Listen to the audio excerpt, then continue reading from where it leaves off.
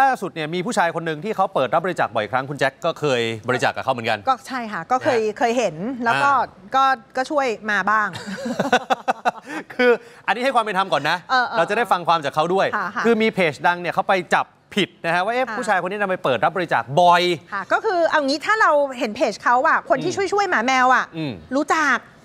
เอาเอ่ยชื่อเลยเพราะว่าเดี๋ยวเขาชี้แจงชื่อคุณศักดิ์ระพีอ๋อพี่ศักดิ์ละพีเนี่ยเพราะว่าเลี้ยงจริงไหมอะเลี้ยงจริง มีภาพหมาแมวเนี่ยเยอะแยะไปหมดเลยเนี่ย ช่วยจริงไหมอะช่วยจริง อ่า แล้วก็หาของมาขายจริง แต่ว่าอืมสิ่งที่เราไม่เห็นเลยจริง ๆ นะ ครับ คือบัญชีของพี่เขา แล้วประเด็นคือเพจอีซอขยี้ข่าวสารเนี่ยเขาก็เลยจับประเด็นตรงนี้แหละ ค่ะ ว่า เอ๊ะ ไม่เห็นเคยเห็นเลย statement บัญชี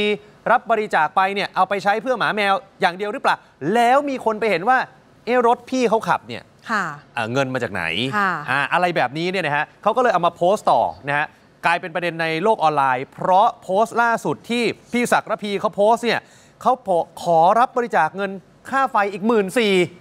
เห็นไหมฮะเนี่ยยกหม้อไฟแน่ ๆ เลยครับค่ะหมาพิการลำบากแน่ช่วงนี้ผมล้มจริงค่ะๆคนก็เลยไปเอ๊ะไงว่า อีกแล้วเหรอค่ะรับอีกแล้วเหรอนะฮะบางคนบอกเป็นนักบุญทุนชาวบ้าน หากินกับน้องหมาน้องแมวหรือเปล่านะครับ เพื่อความเป็นธรรมคุณผู้ชมฮะนักข่าวช่องวัน31ของเราครับสอบถามไปที่คุณศักดิ์ระพีนะฮะนี่น้องจริงปรายานะฮะค่ะนักข่าวของเราก็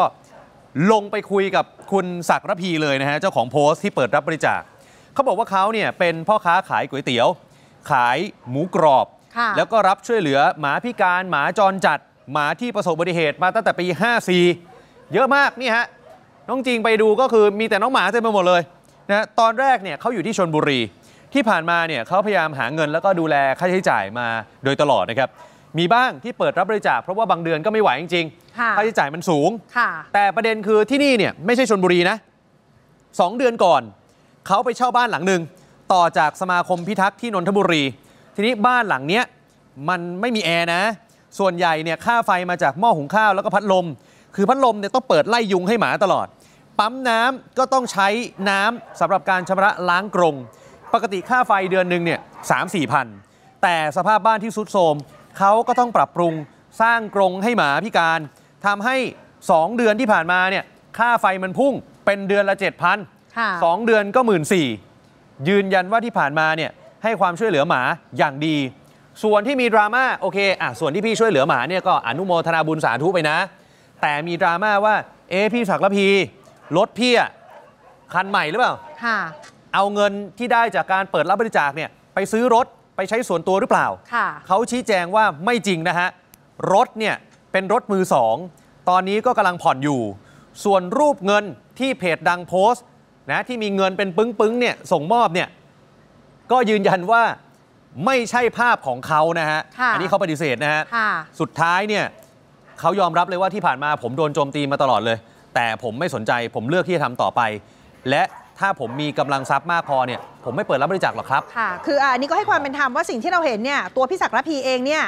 กก็บางทีแกก็คืนสังคมอืมเพราะว่าแกขายอาหารครับบางทีแกก็ตั้งโรงทานอืมช่วยคนอื่น ติดนิดเดียวบัญชีที่ขึ้นเนี่ยบัญชีของแกจะมีบัญชีเนี้ยบัญชีเดียวที่แกขอรับบริจาคในทุก ๆ เคสที่แกช่วยเนี่ยครับหลายคนเลยบอกเอาอย่างนี้พี่ศักดิ์ระพีพี่เอาบัญชีเนี่ยมากางอืมแล้วย้อนหลังให้ดูหน่อย ว่าเงินเนี่ยมันเข้าออกบัญชีมากน้อยขนาดไหนแค่เนี้ยจบครับหรืออีกกรณีหนึ่งที่หลายคนช่วยหมาช่วยแมวเขาทำกันก็คือว่าถ้ารับหมารับแมวบาดเจ็บพิการ